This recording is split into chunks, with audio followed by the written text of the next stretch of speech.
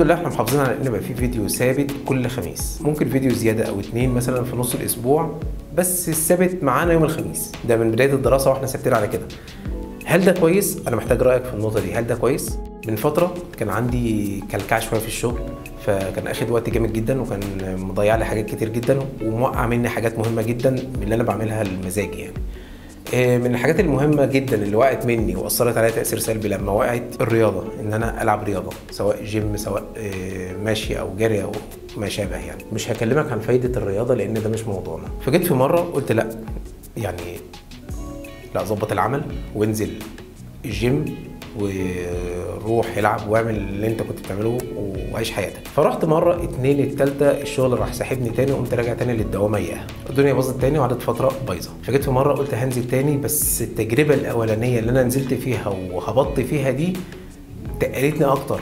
فقلت إن أنا أحفز نفسي. بايه بإني أنزل لنفسي صورة لمدة 30 يوم. 30 يوم في الجيم. ألزم نفسي بالصورة دي. حاسس إنها فارقة معايا إن أنا كل يوم بشوف الصورة بتاعت إمبارح. فبتحمسني إن أنا أنزل النهارده. فبتحمسني أكتر إن أنا أظبط وقتي علشان أنا عندي النهارده حاجة مش يعني إن شاء الله يعني مش هينفع أرجع فيها اطلاقا. إن شاء الله ألتزم لغاية اليوم ال 30 ولو التزمت اليوم ال 30 بعد كده هتلاقي الدنيا مش هت يعني زي ما اتكلمنا قبل كده عن الإنجاز والإنجاز بيجيب إنجاز وحاجات كده. أنا بعد كده إن شاء الله وأنا بقلب في الإنستجرام بتاعي هلاقي إن أنا كان في صور وأنا في الجيم وكاتب جنبها أرقام فهفتكر إن أنا كنت عامل حاجة كويسة هفتكر إن أنا كنت محمس نفسي بحاجة.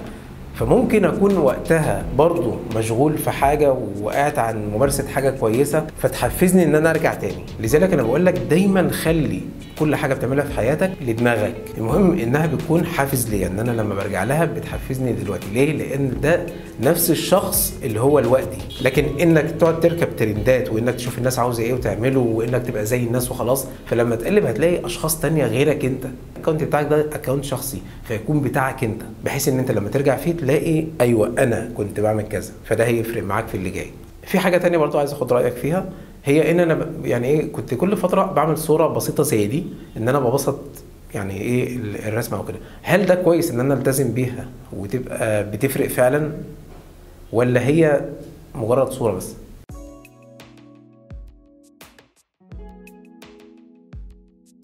جيت في مرة أنا عندي ده من زمان اللي هو ال- مش عارف اسمه إيه بس هو اللي بيستخدموه في الرسم تقريبا بي- بيحددوا بيه الأوضاع بتاعة الجسم. لو أنا مثلا عايز أرسم حد ماشي واقوم عامله في وضع المشي تقريبا يعني.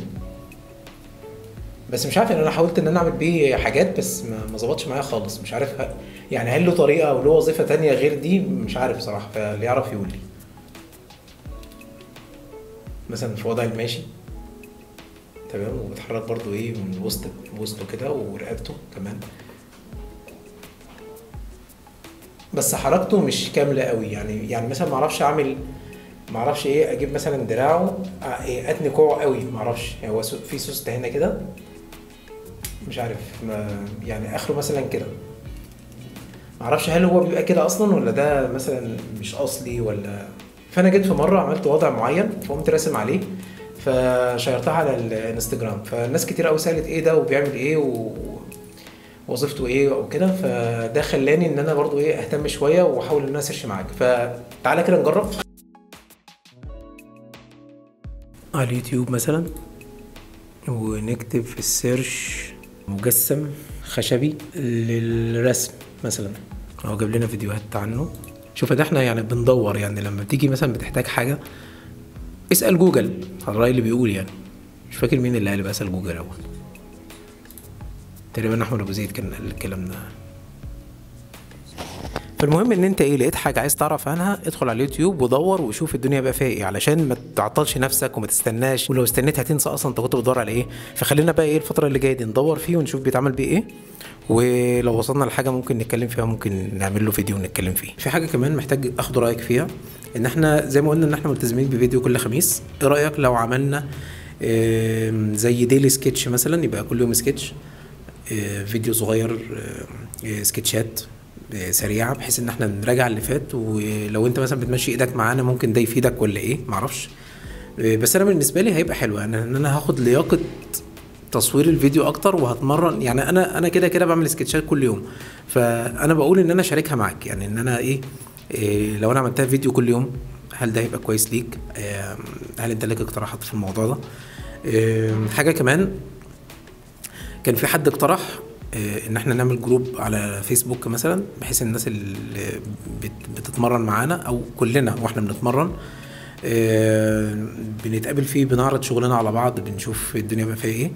بس أنا أنا ليا تجارب سيئة مع الجروبات بصراحة بس أنا مش عارف يعني يمكن أنا مش عارف عنها كويس أو مش عارف عنها كتير فممكن ده اللي مخليني مش آه، مش متحمس لها. أنا على المستوى الشخصي بس لو هي لو هيفيد الناس وهيفيد الناس بشكل أكتر بحيث إن إحنا متواصلين بشكل أسهل.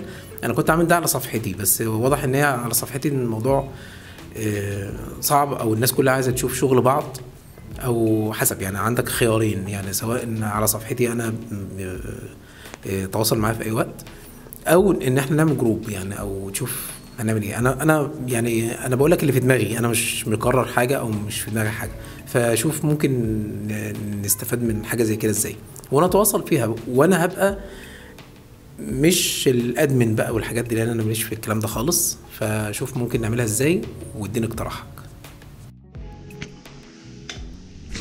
اليوم خلص فعلا. النهارده عندي عندي يعني عندي مشاوير كتير جدا ومضطر أروح كذا مشوار.